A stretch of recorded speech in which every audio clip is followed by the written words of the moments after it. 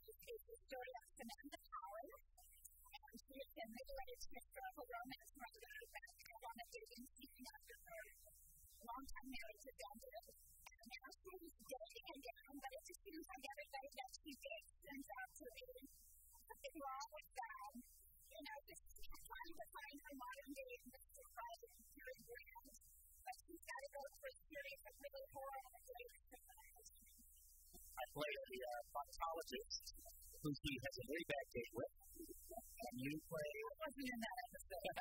I'm the uh, matchmaker. Matchmaker um, doesn't really care for Devin's character very much, finds a lot to uh, have to change and maybe manipulate around to sort of get the right dates. And uh, uh, Devin's character's not too thrilled with it, but. Uh, this is our first uh, web series for both of us.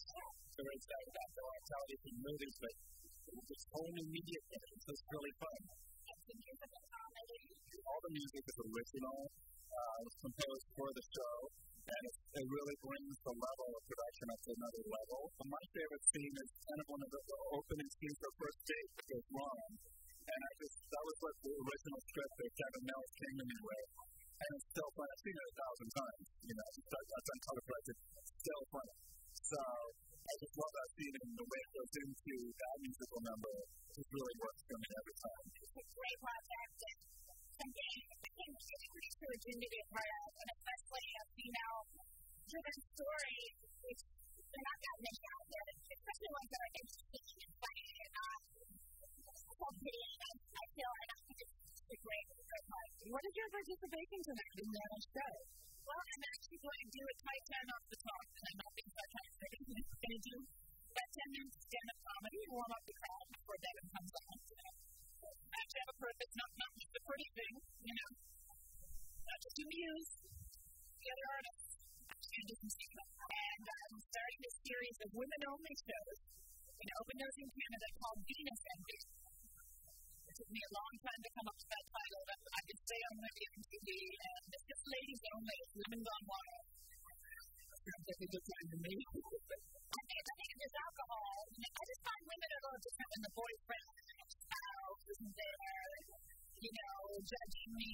Um, that way we can just all have a great time. It's not an original idea. Jenny Jones did it years ago, but mine's going to be a little, little uh, riskier, I feel. And with the difference. I'm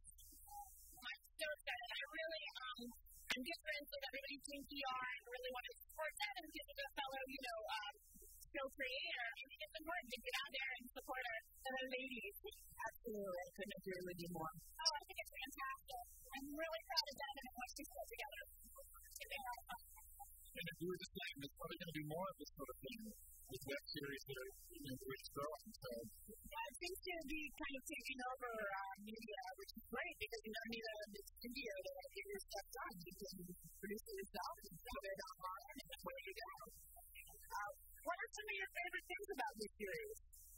About Devin's series? Yeah, about Devin's. Oh my gosh, it's just fun. It's fun. I love that.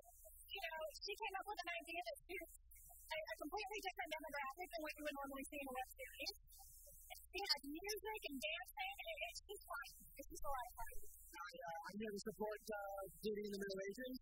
I think it's uh, there's some great stuff about it. I think it's going to be awesome. And I'm kind of like approaching my, my Middle Ages as well. So, so you're getting ready for it. Yeah, exactly. I want to know what it's all about. I want to know what, you know, I won't be dating because I'm, I'm married. I swear I won't be dating.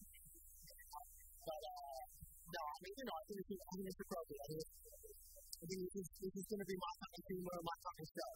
Nice because it's a webisode. Right, so to digest you know, like, get a, get a few minute episode, to be Are you uh, working on anything in particular right now that you can tell us about? Absolutely. Um, you know, next uh, next month I'll be directing a uh, film that I wrote uh, with uh, with Vincent Kaiser. And uh, Three Day, which is my produced, opens in theaters October 1st, so to go see it. Romantic, romantic comedy, so it should be real fun. Are you familiar with dating in the Middle Ages? I am very far from the Middle Ages, but I am familiar. I have friends that are in the Middle Ages. So, um, I am my publicist Stacey, who put together this wonderful event, and I'm really looking forward to it because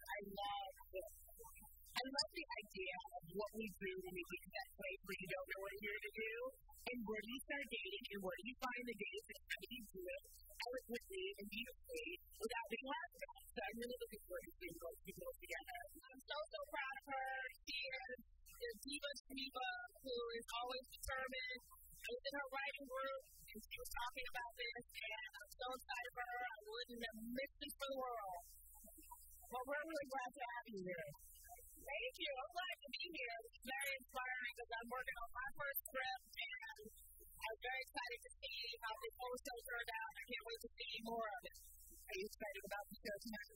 Yeah, I'm excited to see what this is all about. So, taking it all in is sounds pretty interesting. we can just wind up our meeting.